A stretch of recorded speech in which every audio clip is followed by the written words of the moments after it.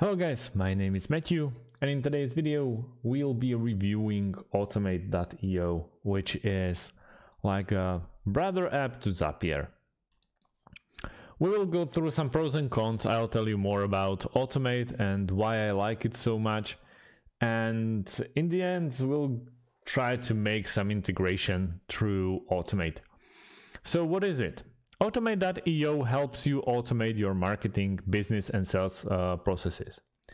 Its functionality includes the ability to automate social media and mobile messages, run smart Twitter campaigns, automate email marketing efforts, and run drip campaigns.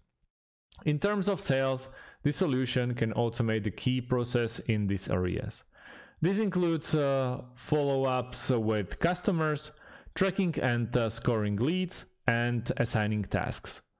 This will help you close more sales in a more efficient and uh, speedier way. In terms of e-commerce workflows, Automate.io enables you to sync orders and payments to your invoicing app, as well as automate the process of creating and sending invoices, as well as tracking payments and sending reminders.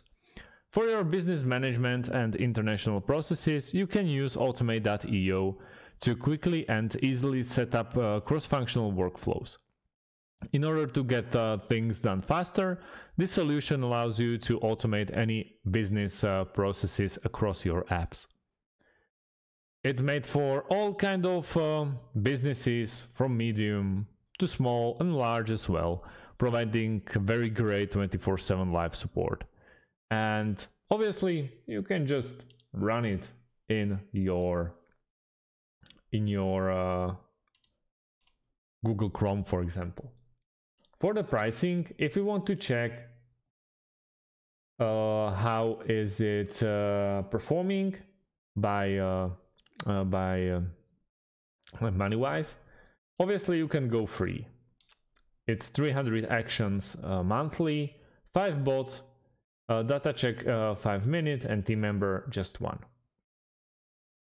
If you want to go with personal, which is 9.99, uh, you go with 600 monthly actions, 10 bots, uh, 5 minute data checks, and also team member of 1.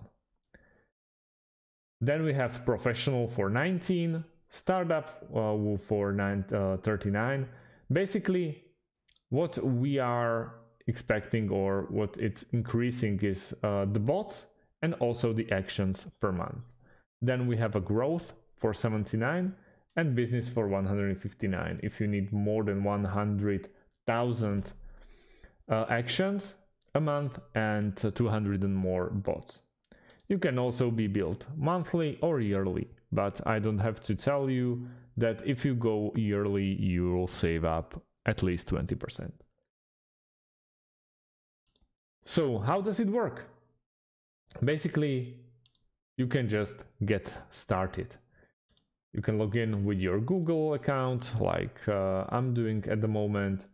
And as you can see, I already create tons of integration through automate.io. And uh, it was very, very, nice experience. When we are going back, uh, we really uh, can even do them when you log out. Let's go to integrations and uh, click on the top side. For example, we want to go with Gmail.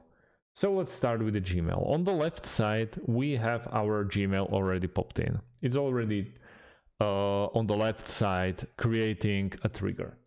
On the opposite side, we will be uh, looking for uh, the program that is going to be affected by this trigger. Uh, it can be, for example, Trello. Right now, we have some pre-made uh, popular integration between these two. For example, create Trello cards from new start emails in Gmail, or send an email in Gmail on a new card in Trello, and so on and so on.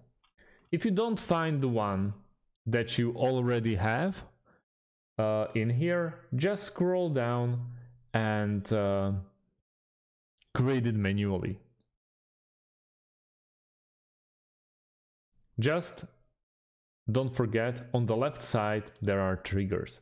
So on the left side we want to go with Gmail. In this case, let's go with uh, new email, for example. On the opposite side, we have the actions.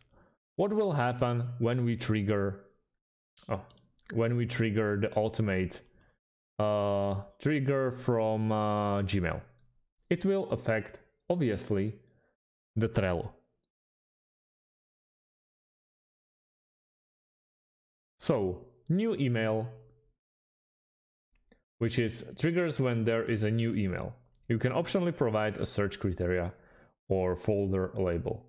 It will uh, basically add or update card. Let's go with this one and click on try it now. Obviously, let's log in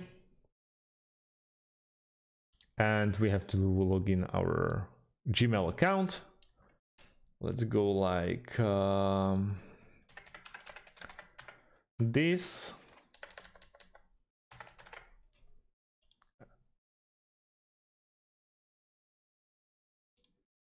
And we allow it. And uh, we have to add our Trello account, which I don't really know if we have one. But let's check.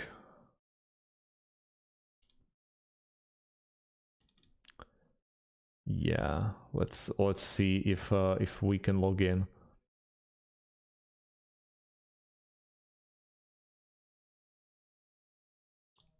Yeah, and allow. Yeah, we have it. And straight away we can configure this integration. Watch this quick video to help you set up your automation easily. So we just let it slide and uh, we hit next and straight away we are about to configure what is going to happen. This is my email, this is my, my Trello account it's going to be new email. As you can see, you can uh, change it anytime you want. And then input fields. Folder label, for example, let's go with, for example, chat. We can use finger uh, filters or we don't have to and outpost fields.